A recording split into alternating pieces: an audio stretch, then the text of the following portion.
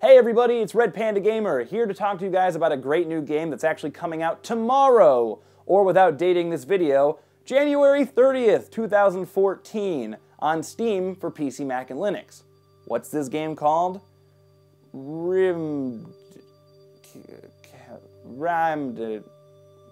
Rimdekipsel... Ramdek... Rimdek... Rymdkapsel was originally released on PlayStation Mobile, iPhone, and Android, and since the game recently exceeded over 200,000 downloads, lone developer Grapefrukt decided it was time to bring the game to a much larger platform. So the game is being released through Steam on PC, Mac, and Linux. Rymdkapsel is, besides difficult to pronounce, a slow-paced meditative strategy game set in space. It has hints of tower defense, but ultimately is a genuinely unique experience. Every time you start a new game, you have two minions, a small corridor, and enough resources to begin expanding your space station. Building extractors and reactors for more resources, building a garden to grow food, a kitchen to cook the food, and living quarters where the player can gain more minions to carry out tasks. And of course, a weapons bay for defense. All special pieces must be attached to the corridor pieces. This is where the first bit of strategy comes in. Obviously you want to keep the kitchen and gardens near each other, but it is not always that simple. This is one of the few simulation games that make me feel like I actually have a say in how my space station comes out. To make things even more interesting, all the ship pieces come out as different tetrominos, each requiring careful placement. The ultimate goal is to have your minions in a thriving space station and to venture out to find the four monoliths placed in each corner of the level.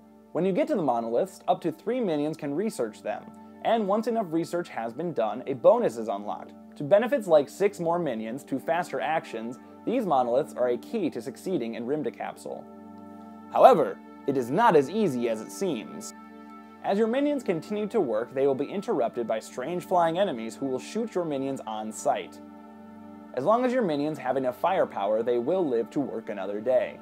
But, as you play for longer, the waves of enemies come quicker and in more robust numbers, and if you are not prepared, they can easily wipe you out. Of course, if you prefer to just enjoy the experience of building your own space station uninterrupted, there is a Zen mode where the enemies are removed. This is a great way to learn the intricacies of the game and to make a wicked awesome space station. Rymdkapsel is a very special game. It was a rare sight on the App Store to find a game built for gameplay to last longer than 5 minutes and not plagued with free-to-play, pay-to-win marketing strategies. Rymdkapsel's design works on so many different levels. Its minimalistic art style matches the simplistic gameplay, the bright colors of green, blue, pink, and orange shine against the deep darkness of space. Having the ability to zoom in real close without details being diminished is a nice touch, and you really start to feel attached to the little white rectangles we refer to as our minions. That one I like to call George. Oh no, George!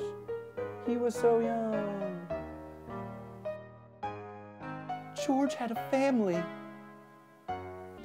Every monolith is exciting to discover as they add a new twist on the game, and they give enough of an objective to allow the player to have a clear goal without being too pushy on telling them what to do.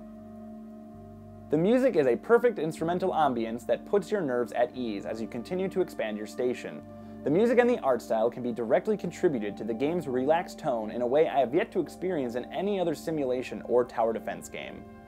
I highly recommend Rymdkapsel on any format you can get it on, but for anyone who would like to play this game on the go, it's perfect for train rides. It works great on Apple and Android devices or on the PlayStation Vita. It's $3.99 on mobile and $9.99 on PC, Mac, and Linux through Steam. Be sure to pick this game up to support the one-man team behind this great indie gem. Thanks for watching this review. If you have any indie games you'd like to see reviews on, please comment down below. And if you have any thoughts on Rymdkapsel, or want to tell me that I mispronounced it, because I probably did, be sure to not bother telling me, because I already know. Joke's on me. This game is out of this world!